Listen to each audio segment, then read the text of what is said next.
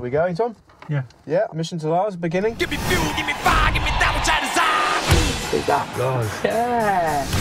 Metallica, the biggest rock band in the world. You've said for 10 years, want to meet Lars. Want to meet me here? Oh, I don't know if we're going to meet him here. Essentially just been growing further apart. We've got three gigs in three cities. We've got three chances.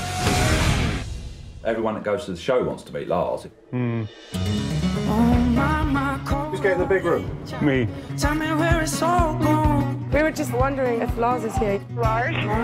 Lars? Off your Don't go anywhere near those restaurants. I've been worrying. We're not stopping unless we get access to all areas. Time We fine. I've Do you really think Lars is too busy to see you? Yes. that I'm losing. He just said he doesn't want to do it anymore, well. Is there more going on in his head? Absolutely. I think it would be really great if he could make the connection with Lars. In the confines of fear. Oh my god! They know who we are. For him, the sound is 10 times louder than it is for you. Are you enjoying yourself?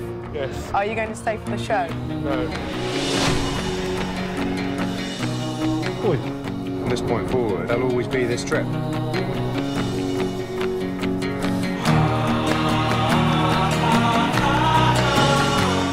Get him to those gigs. He's going to love it. It's just breaking through fear. It's like jumping out of an aeroplane. Just getting Tom to meet Lars for five minutes will be a miracle.